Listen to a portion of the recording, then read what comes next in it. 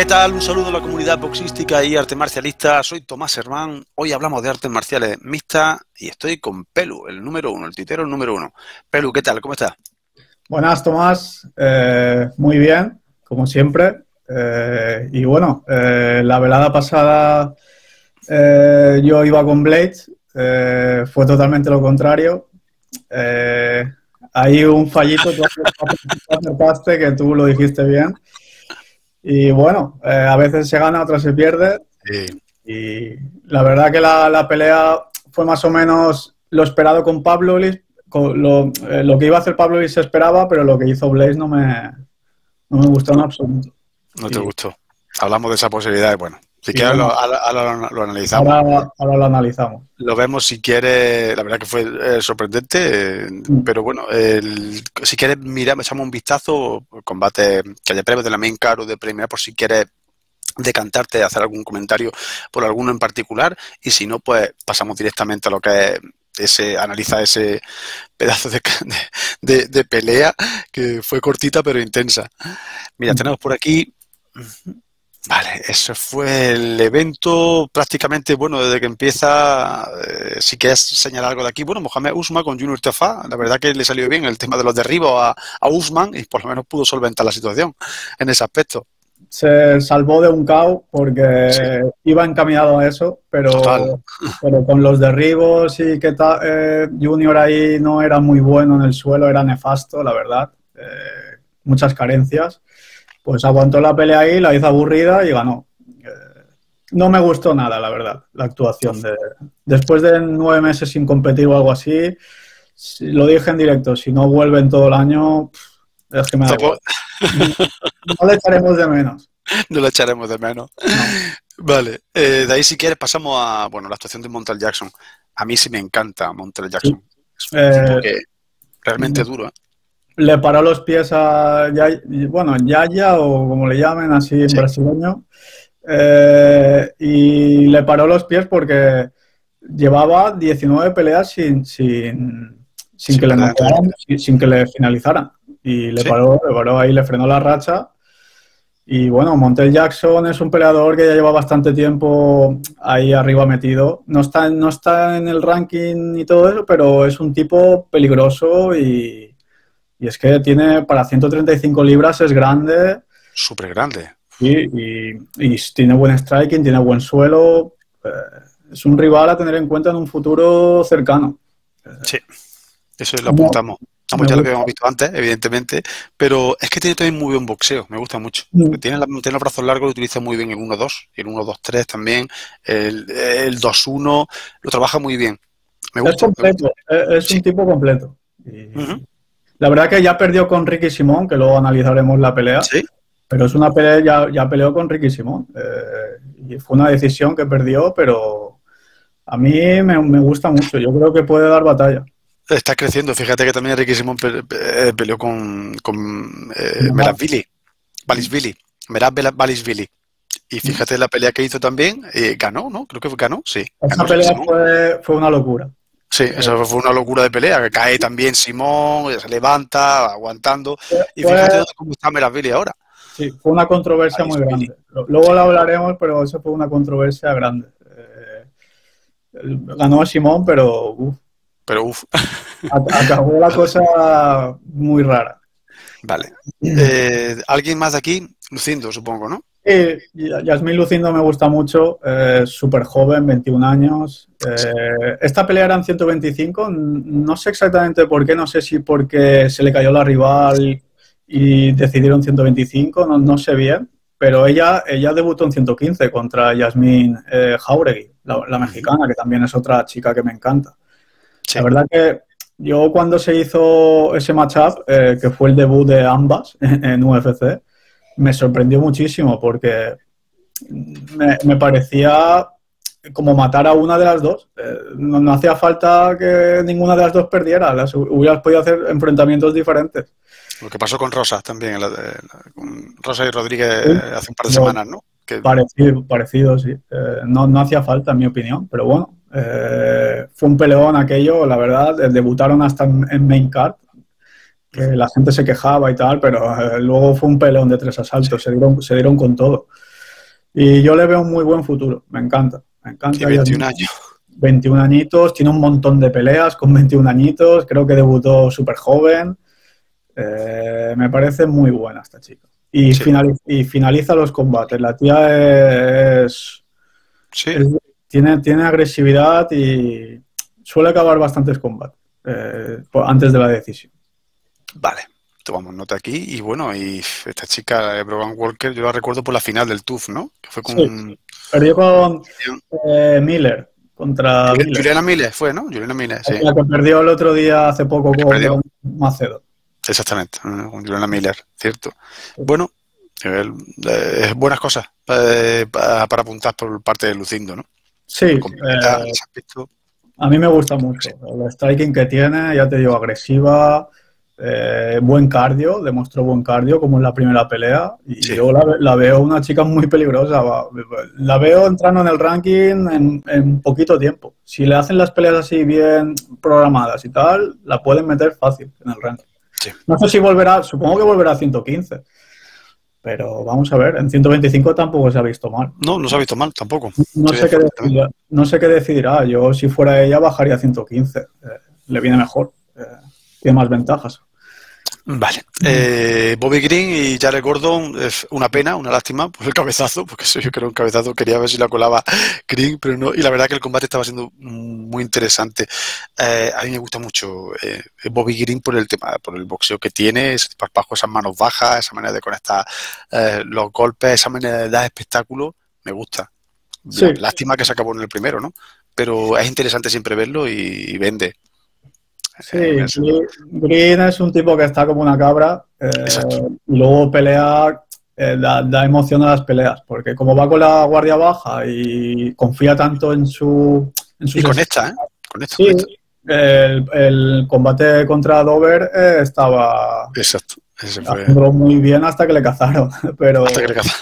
pero es un tipo que da espectáculo. A mí me gusta porque da espectáculo y está así como una cabra y, y bueno, eh, es un veterano, lleva muchos años Sí que ha, lleva. ha peleado contra todo el mundo. Eh, a, mí, me- a mí me gusta. La pelea una lástima, le dio un cabezazo claro, menos mal que Sí. estaba el, el bar y entró Qué ahí. bueno. Sí, porque si no, pues hubiera quedado como un caos esto, un- una parada por, Y- por golpes, por Y es un cabezazo. Y prácticamente es ese cabezazo el que abre la puerta al gran. Sí. Pero directamente, vamos. Se ve suelo el suelo y ya cae al suelo mareado y ahí lo remamos. Eh, los golpes se los llevó y, y- y- y al final sí, queda no contes, pero, pero te has llevado los golpes. El- Te has llevado el caos, te lo has llevado. te Sí, sí, sí. durmiendo. Sí.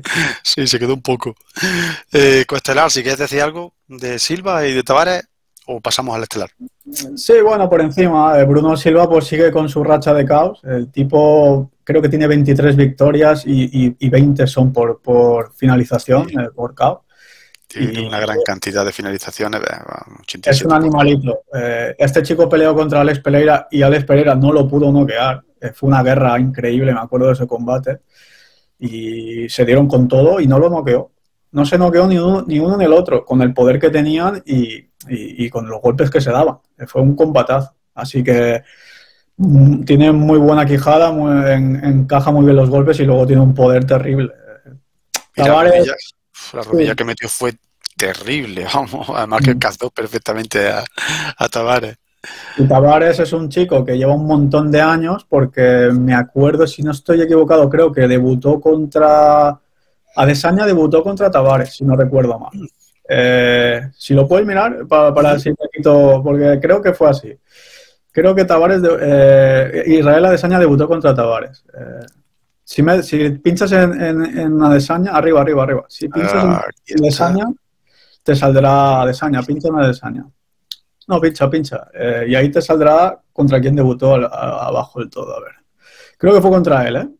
A ver. Brad Tavares, pues. Bueno, no, fue como. Había debutado antes. Había debutado, Ah, había debutado, sí. había debutado. Ah, fue contra. con- Vale, sí, nada. pues- Wilkinson. Vale, vale. Wilkinson fue en el Vale. Romero Rockmore. Pues Mm, fue, su- fue de sus primeras peleas. Y Sí, eso, la tercera. fíjate, eh, ya lleva un montón de peleas Brad Tavares. Brad Tavares lleva un montón de peleas. Eh, 2000. Creo que de hecho ha estado incluso rankeado, eh, pero es un chico que eso, que no ha, ha llegado a su máximo. Sí. y ya no, porque tiene un montón de peleas, creo que tiene 22 peleas en UFC, tiene una barbaridad, 22, 14, sí, 22. Desde el 2010, lleva una barbaridad de peleas. Pero, Muchas derrotas últimamente, sí. Ya no llegó al límite y ya no ha pasado de ahí. Eh, no le ha dado para más, pero era un tipo que eh, ofrecía resistencia y, daba guerra, pero ya va de capa caída. Vale. Bueno, y pasamos a Estelar, porque el Estelar sí fue... Aquí el Estelar sí, sí, ya lo comentamos, qué es lo que podía ocurrir, qué es lo que no podía ocurrir. Al final, parece que se la jugó. Se la jugó Curtis Blade a cambiar golpes. En principio, conectó.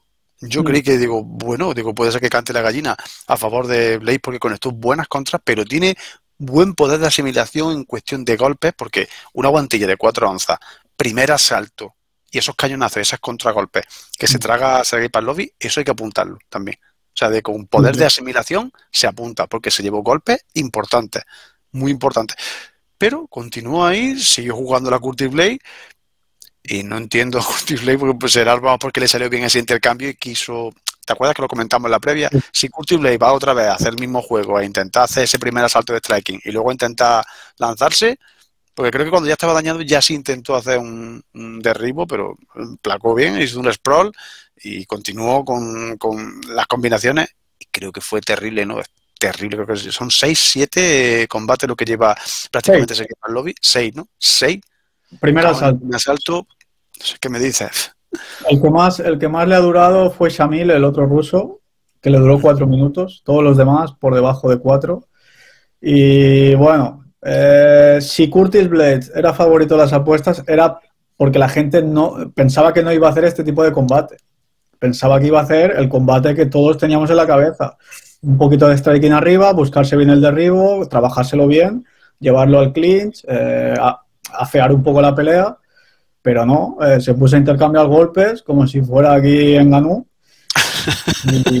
Y, sí, sí que es cierto que en el primer minuto tiene éxito, le da un par de contras muy buenas, pero no lo, no lo las asimila totalmente bien, eh, no, no, no hace ninguna mueca, no hace nada. El tipo sigue hacia adelante y se las come, como se las comió con Tuibasa también, que también recibió dos golpes cuando estaba intentando finalizar se las comió bien también, que tu Ibasa tiene más poder que tú. Sí.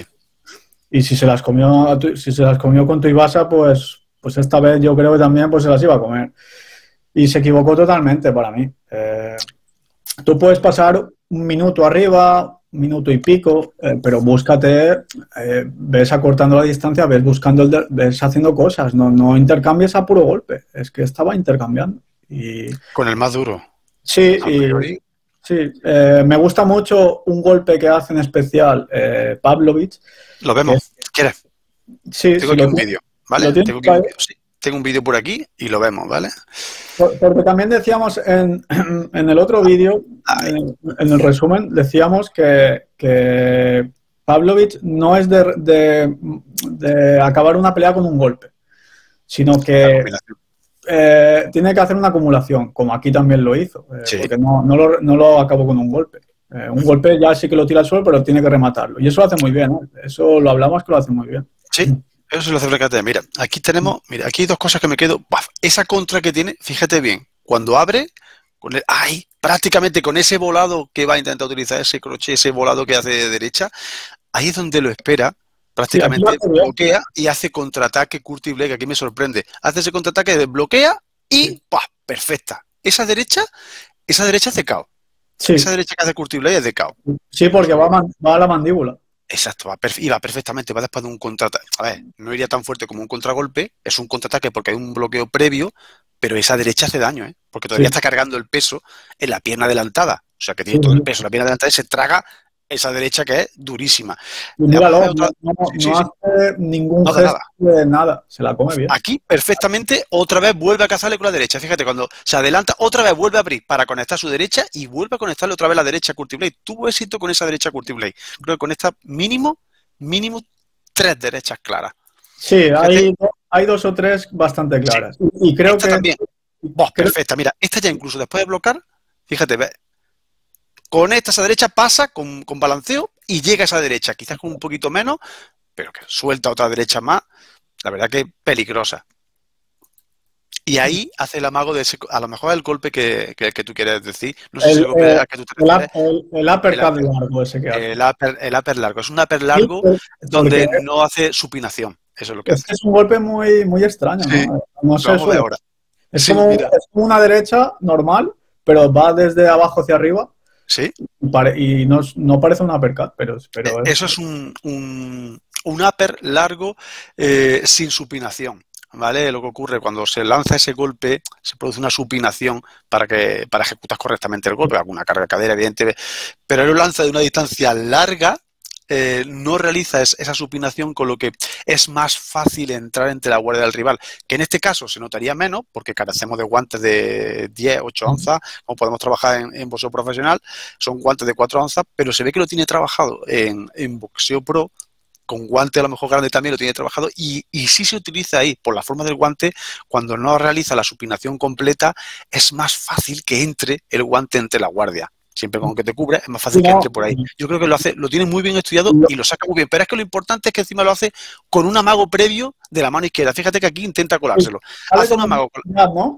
Exactamente, fíjate. Vas a ver a cámara lenta, mira, hace un- siempre un amago con amago. esa mano, hace ese amago con la mano izquierda. Y ahora lanza ese golpe largo, ahí, prácticamente, y luego vuelve a repetirlo con la izquierda. En esta ocasión no le engancha bien, lo quiero poner antes porque sabía que esa combinación no es casualidad, es que lo tiene preparado. No, lo, ¿Vale? lo hace, lo hace muchas veces. Exactamente, lo hace mucho. Aquí lo que me gusta mm, de esta parte aquí es la dureza con la que lanza, que lo- prácticamente lo clava, el directo de izquierda, no es un jab. Cuando él quiere colocar el directo de izquierda, sí hace énfasis en ese jab de izquierda, ahí, que es cuando hace daño. A Blade, fíjate qué posicionamiento tiene y con qué dureza prá- prácticamente lanza ese resto completo, alineación completa del brazo y, y mete un de izquierda durísimo. Y aquí viene la combinación, ¿ves? Aquí viene el engaño. Aquí luego, luego lo que hablábamos. Lo, lo- necesita- lo- lo caza con la de- realmente lo caza con la derecha, porque el uppercut largo no lo saca, ¿eh? Lo, lo saca luego una derecha que, que hace, ¿eh? Sí, ¿Te sí, pero en, pero en esta sí. Mira, fíjate, mira, mira, verá. Hay un upper largo que utiliza, va a utilizar ese No, amago, no mira, me ese es el amago. Sí, pero Mira. mira, ¡Ay! da- sí, Esa pero no, lo, pero no lo, no lo tiene No. herido, herido del No, no, todo. no, exactamente. Llega, ya te entiendo. Tú quieres decir que lo dejase frito con ese, ¿no? No, no, Sí, no, que lo- que que lo, abre. que lo hiciera tambalear como con el jab, sino que se recupera un poco bien, pero luego una derecha que le lanza sí que es la que le tumba para el suelo. Sí, ahora viene la combinación a esa derecha, Esa derecha. A ver, esa derecha y esa también. ahí, Ya. hay una que lo saca, eso es. Mete un cúmulo. El uppercut es- largo lo, lo encaja muy bien, ¿eh? Lo, Sí. se la come, ¿eh? Sí, sí, pero es bonito como ver cómo realiza Pavlovi este, este ejercicio, este- esta, esta acción técnico-táctica.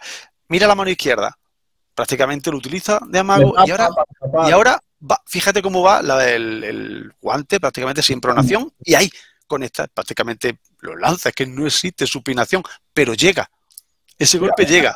A mí me sorprende que con este golpe no lo saque del todo Vaya, y vaya. luego, luego con el otro, con el jab que le mete, lo, lo hace tambalear. Sí, No- no- es que el jab- raro, es El jab es muy potente. El jab que tiene es muy potente.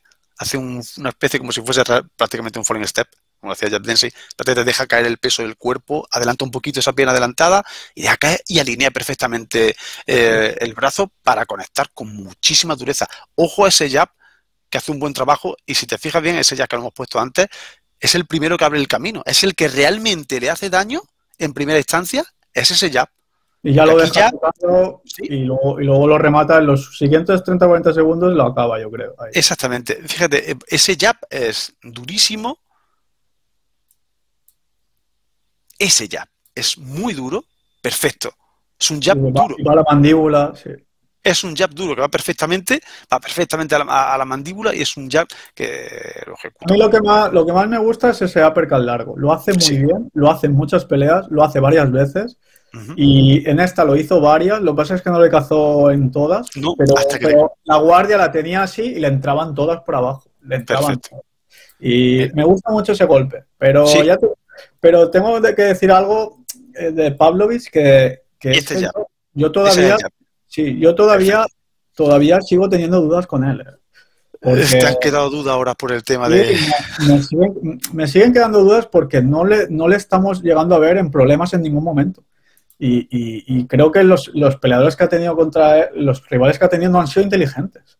han ido a lo que a Pavlovich le viene mejor. Ha tenido realmente Sí. tres strikers, las últimas peleas, tres strikers, porque lo que hizo Blade es de ser un striker, no hizo Sí. lo que tiene que hacer un wrestler.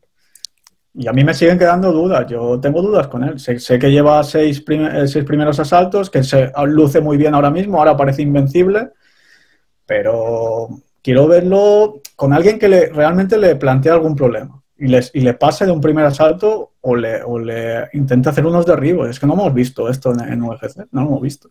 Bueno, intentó un derribo. eh, Pero es lo que estábamos ya- diciendo, ya era la desesperada. Ya era lo que hablamos. Ya había ¿no? tocado, ya le había tocado, ya no es lo mismo. Y, y- y lo- no lo hizo tan mal porque realmente eh, lanzó un golpe Pavlovich y fue a la- al doble leg.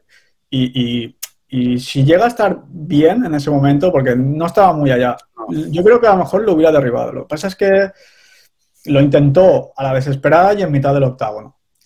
No. Eh, la estrategia de Blaze fue lamentable. Yo creo que el éxito que tuvo en el primer minuto le pasó factura en el resto, porque creo Sí. que creo que creyó que podía acabar con él arriba y se equivocó totalmente.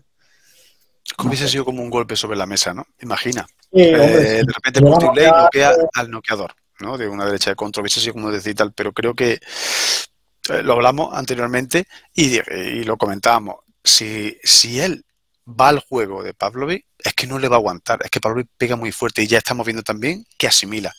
Asimila por lo menos golpes de contra, asimila. En ese aspecto sí.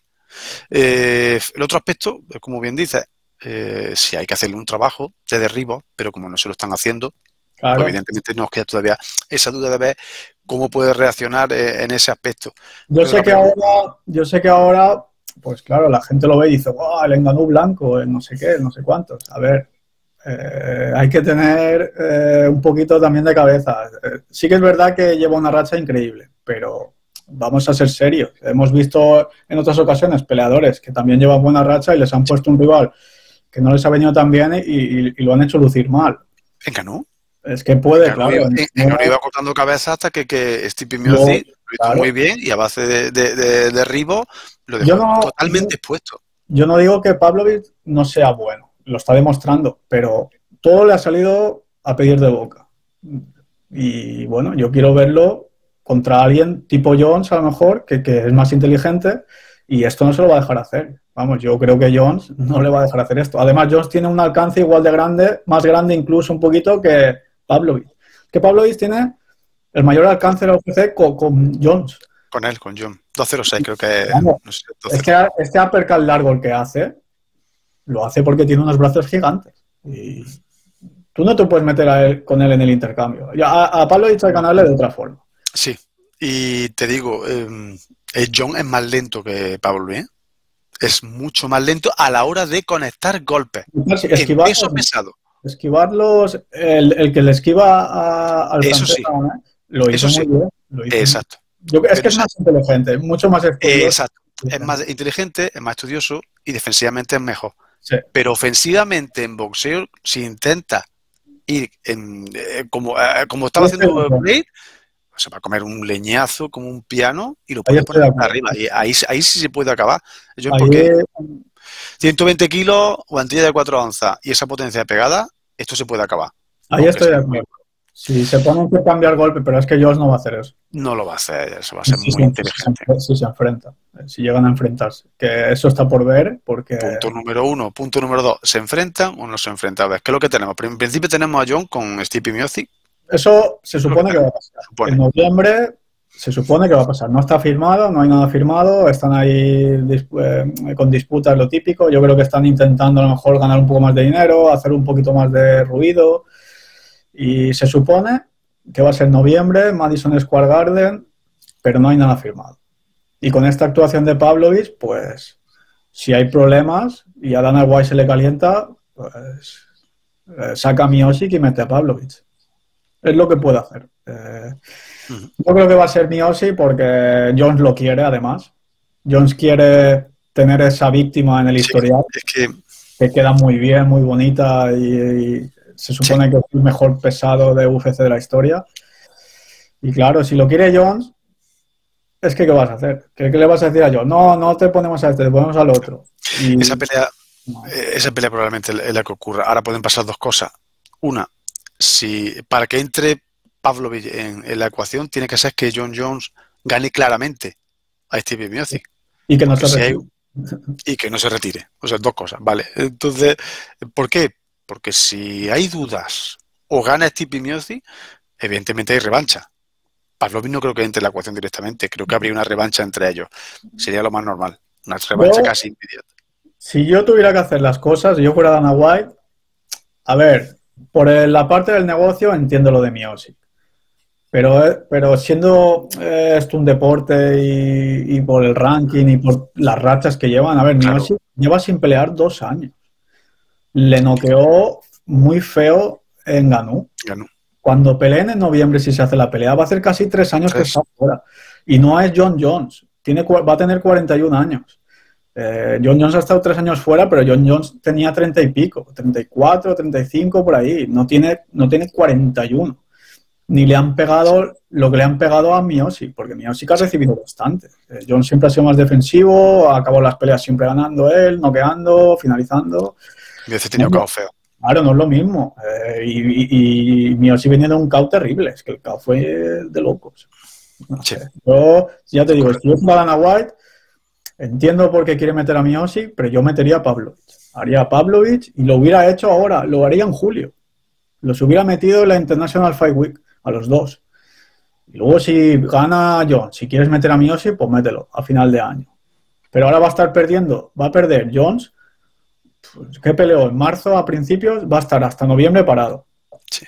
Métele otra, pelea, métele otra pelea entre medio. ¿Y aquí le mete a Pavlovich ahora? Es que yo creo que Pavlovich, yo lo que haría si fuera él, sería, sería sentarme, pero eso a Dana White no le gusta nada. creo que va a tener que ir pues, contra Gané, que no debería, pero, pero creo que le va a tocar. Y... Pues Gané. Claro, es que ahora gana Gané. Muy listo, muy inteligente. Ahora sí gana Gané, ¿qué pasa? Le quitas, es que es lo que estábamos hablando también con lo de Topuria, ¿qué vas a meterle a más Holloway luego que le corte la trayectoria? Es que ahora, le gana a Gané y, le expone a Pavlovich y todo el hype y todo eh, a, tomar.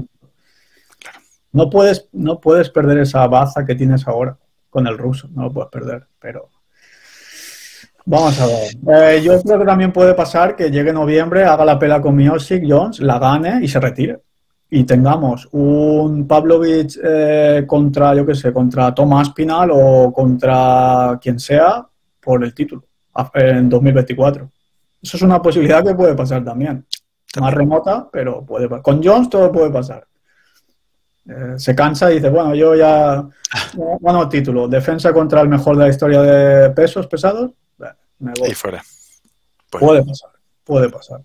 Vamos a ver. Vamos a responder hacia dónde va el barco.